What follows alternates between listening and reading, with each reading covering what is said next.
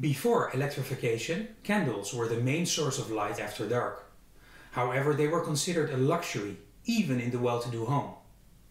Thus the expression, the game's not worth the candle, highlights the fact that lighting a candle was like burning money itself. Like the candles, their holders were also very expensive objects. Candlesticks gave a particular splendor to the parties and ceremonies of wealthy households. Candlesticks of various shapes have been produced in Dutch Delftware since the 1680s.